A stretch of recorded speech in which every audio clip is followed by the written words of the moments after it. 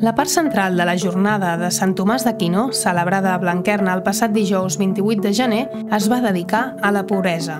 L'acte va ser seguit per unes 80 persones presencialment i per vora 200 en streaming, totes elles professorat, PAS i equips directius de la Fundació Blanquerna.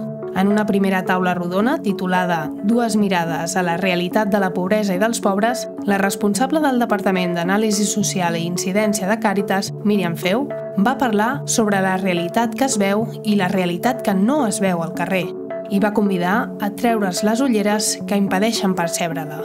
Cal que recuperem, va dir, el concepte de comunitat, crear espais de trobada on la gent trobi escalfor, hem de seguir tenint empatia per posar-nos en el lloc de l'altre. Hem d'actuar i recuperar el projecte del benestar col·lectiu amb una indignació atenta. No podem deixar passar les injustícies i, a la vegada, hem de tenir una esperança compromesa. Hem de fer el nostre paper.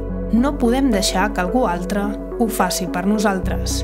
La segona intervenció va anar a càrrec de la fotoperiodista i professora de la Facultat de Comunicació i Relacions Internacionals Blanquerna, Sandra Balcells, que amb les fotografies que va fer el Raval durant la pandèmia ha participat en una iniciativa en forma de llibre que es publicarà el mes vinent amb el títol Pandèmia, mirades de una tragèdia. Finalment, la doctora Begoña Román, doctora en filosofia, professora de la UB i experta en ètica aplicada, va cloure l'acte parlant sobre la interpel·lació de la pobresa i dels pobres a la universitat.